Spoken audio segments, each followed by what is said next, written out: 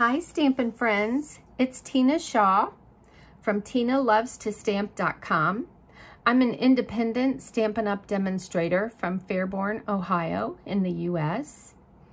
And if you do not have a demonstrator or a current catalog and would like one, you can get in contact with me through my Stampin' Up! website, which is tinashaw.stampinup.com net.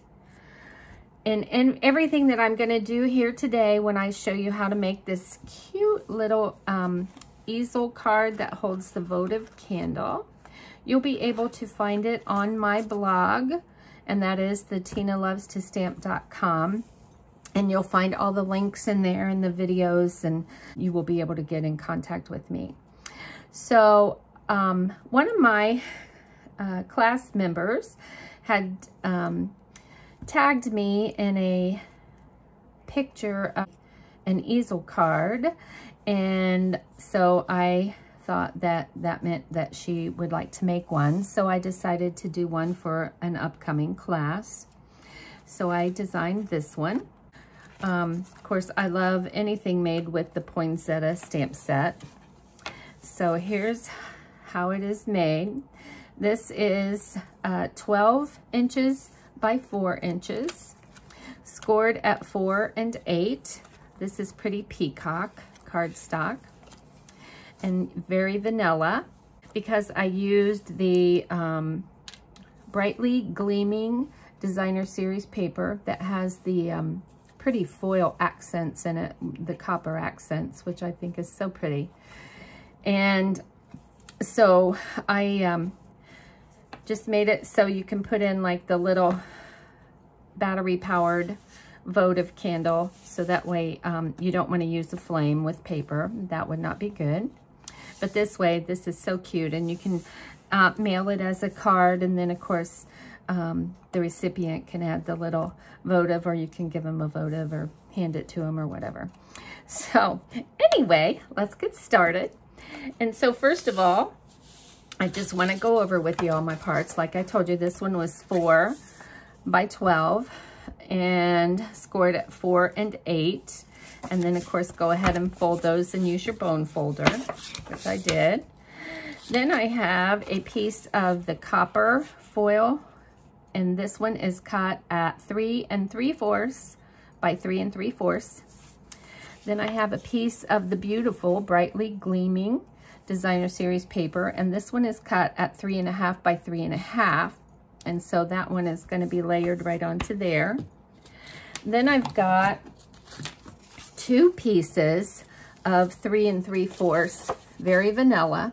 One I decided to put on in the middle and then one is going to be on the bottom and of course on the bottom is the one where I stamped the poinsettia. I used cinnamon cider ink pad and when I um, have these two pieces, I use the cinnamon cider ink as well when I stamped um, the little Christmas wishes.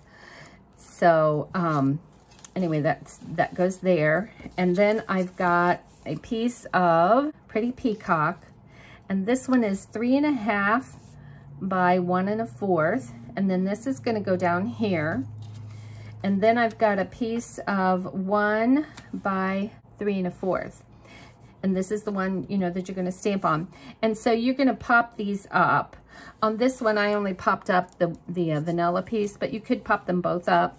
And the reason that you're going to pop it up is because that's going to be the stopper to hold the easel card up. So let's see. And then I've um, used the largest layering circle die and this one, I'm gonna cut out a piece of vellum because that one I'm gonna glue to the inside on the back after I cut those out. And then I've got the third largest uh, circle die. That's, um, I'm gonna glue these two together.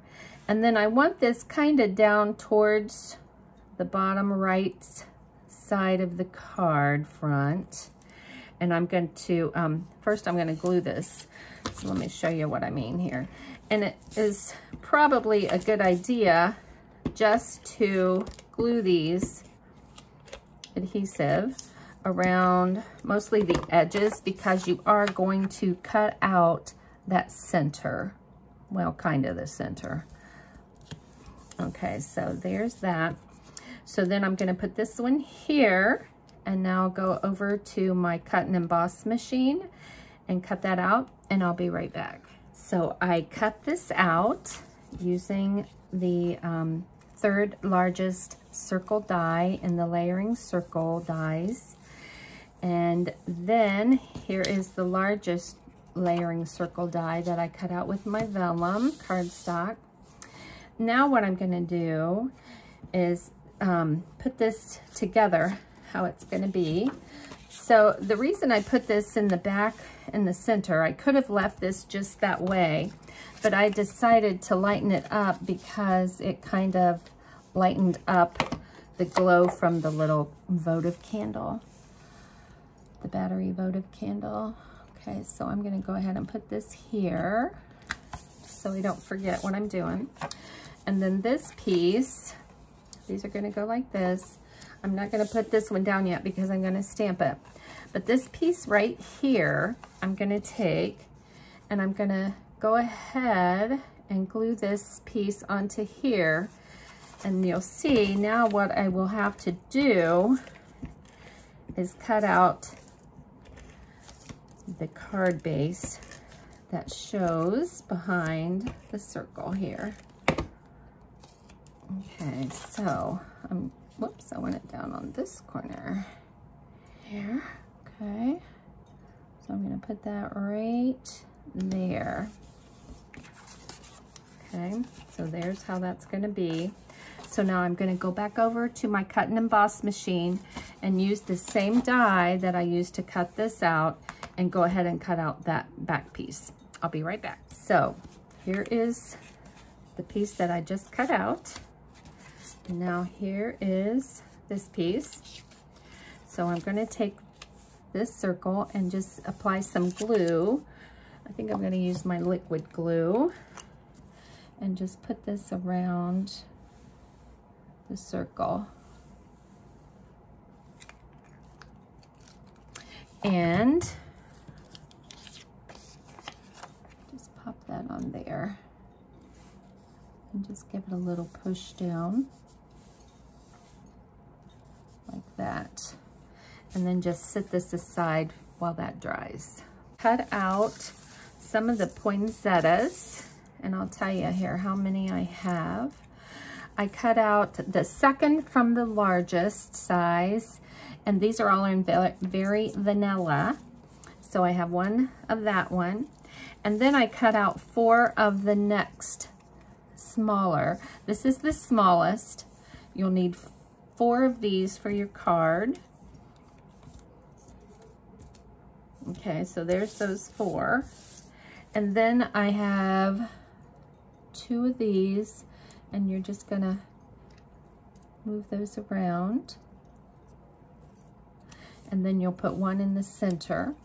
And then your other one, you're gonna have just the second smallest. Then I've cut out three small leaves in the copper foil. And then I've cut out two of the sprigs in the pretty peacock. So um, before I put these together, I thought it was really pretty to add, I don't know if you can see that shimmer and sparkle, but I went ahead and used my Wink of Stella on all those petals. So that's what I will do now. And just so, ah, yeah, this is the side that has the embossing on it from the die set. I love that die set. I love that stamp set. And as many of you know that have watched my videos, this has been my favorite stamp set this year. I love the poinsettias. So I'm not going to make you watch me do all of these. So I will be back after I get all of these brushed and glued together. I have this one all glued together and I'm going to show you how I did that. I just take a glue dot and offset these. So this one is going to be in the right corner. And then this one, this one is the largest. It's the only one that has the um, bigger, but not the largest die for the poinsettia. And so all I did for this one was just put these two offset. And I just kind of curl these with my fingers a little bit because um, you can use um, your bone folder if you want to curl them up a little bit tighter, but I kind of like them loose like that. So there's my three poinsettias. So I've got a larger, a medium, and a small one. By the way, I do want to show you, I used the poinsettia petals bundle to make this card. Um, I didn't stamp the poinsettias. I just cut these out with the dies and um, the other little pieces also. And then the uh, words I've used were from Snow Wonder, the Christmas Wishes and Joyful Greetings. Love these sets. So here's my card. I think this is pretty dry. That looks good. So now I'm just going to put one, kind of decide where you want it.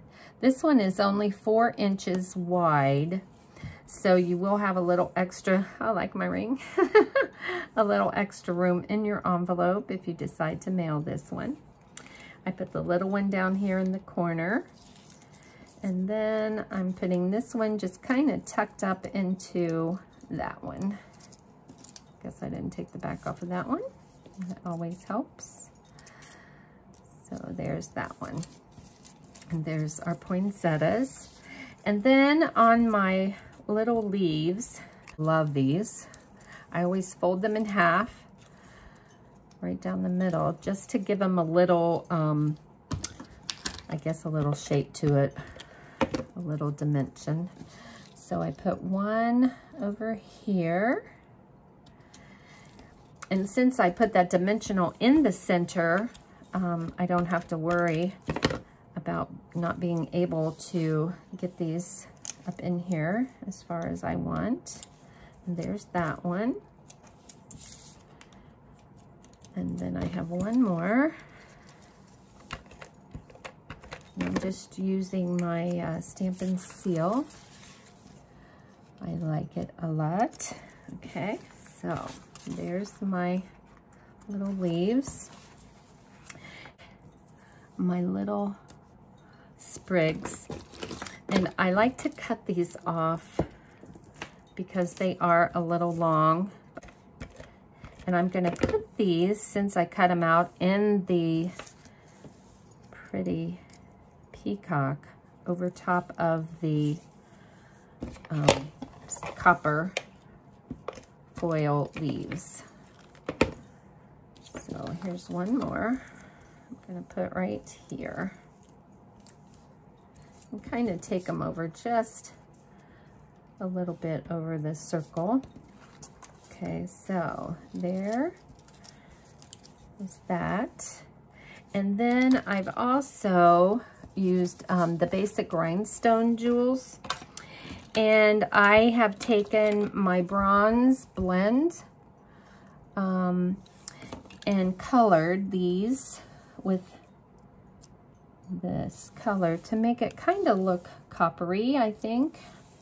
I tried doing it uh, with the pearls. I colored the pearls and it I just really like the shine of the rhinestone, but I'm putting the larger one down here since it only gets one. So there's the outside. And now I'm not sure about these copper star elements. If they were in last year, or I thought we had some in this year, I will look and see if these are still current. If not, I'm thinking there are other um, star elements that are available right now. So I'm just going to put three of them on here just because I think they are so cute.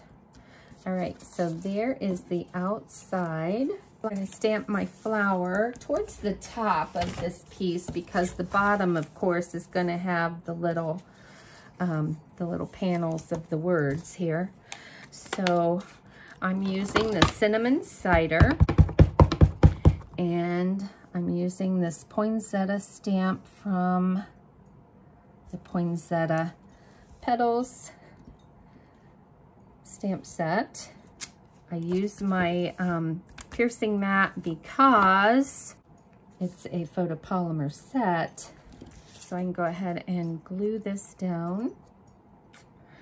I buried my Stampin' Seal.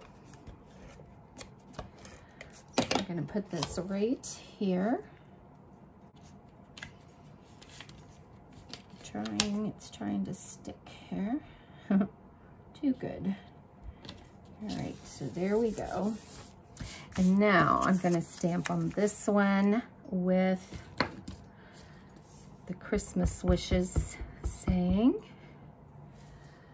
And so try to line this up. It always helps if you have your little grid right there. There we go. That's pretty good. All right, so now pop it. So I'm to put several dimensionals on here because I just really want this to be popped up so it will hold the um, easel part up. It's really, it's pretty easy um, I had watched some videos on several other uh, demonstrators on how they made theirs. And I just came up with the easy figure of 4 by 12 and that way you didn't have to like do a half an inch here and 3 fourths there or whatever. So I just like things really simple if I can if I can do it. So almost done Get this one. Right there. One more. And then I'm just going to attach this at the bottom. Just outline it right there. And then that goes up and sits right there. And there's the two cards really, really cute. And of course, here's our little tea light. We're gonna put back in there. See if you can see the glow. It's kind of hard with all my lighting in here too. Anyway, that's the cards.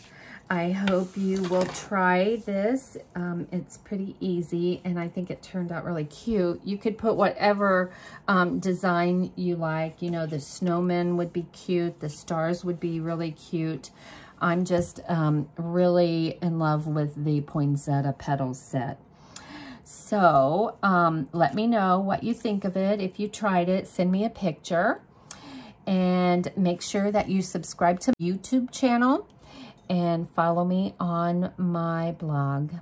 Thanks for watching and have a great day. Bye.